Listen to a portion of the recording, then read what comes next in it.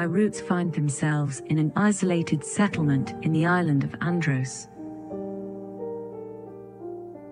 The house started being built in 1865 and was habited until 1990. There is this embracing attachment to the history of this house and to the moments and lives that it has sheltered. It was built in Melida, a place hidden in nature. The furniture, the objects are still the same. Things are still found in walls, in boxes with old photos, documents, and testimonies.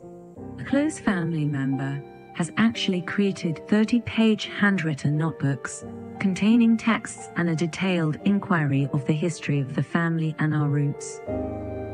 Their personal trait and importance will someday become memory and be an engraver of the past as discovered and seen through our eyes.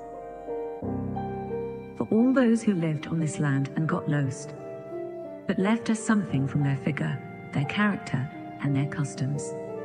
Because we are their continuation, and we must know them and remember them, because a part of them lives in us. Memory and the past are recorded through photography, with a large amount of existing archive, bringing together a series of testimonies of the Greek culture throughout history. There is, for example, the Department of Photographic Archives of the Benaki Museum that was founded in 1973 with the aim of collecting, preserving, and classifying all photographs. With a collection of works from photographers such as Nelly's, Voula Papaioannou, or Constantine Manos. Some of Constantine Manos' photographs inspired me to revive them by digitally adding color.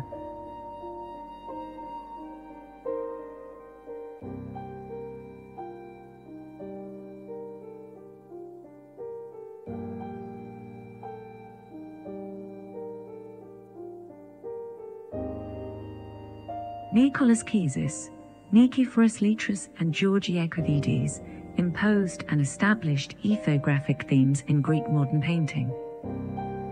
Ordinary people, scenes of everyday life, traditional customs, depictions of the rural life and the countryside are portrayed in their works with a nostalgic mood. Between memory and erasure follows similar paths in thoughts and processes. It is based on direct visualization and personal testimony that recalls past experiences. The works are a return to the roots, while the identification with them constitute a confirmation of historical continuity. They depict scenes that glorify or praise the lives of our ancestors. Memory is what defines consciousness and with memory, the living lasts. Over time, memories may fade, but they are collected and preserved. They are inert, somehow defining our actions.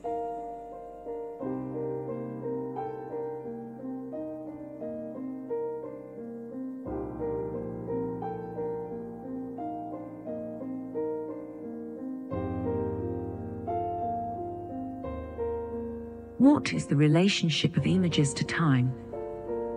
And what is our relationship to what has disappeared? The works express the flight of time, the fragility of existence, and the porous border between absence and presence.